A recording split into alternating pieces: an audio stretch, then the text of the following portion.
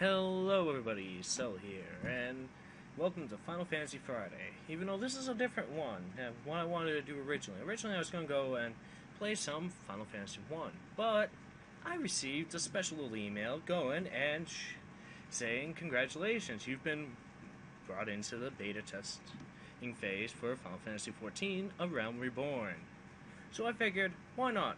Why not do a Let's Play series based on it? Of course, it won't be this week because here, as you can see, I'm downloading it. Or it might be this week. It depends on if I can get downloaded quickly enough. But here, I'm 100% sure. I actually want to go and do it with a co-host, and currently I have nobody here to go and co-host with me. So, probably what I'm going to do is leave you guys with this awesome announcement.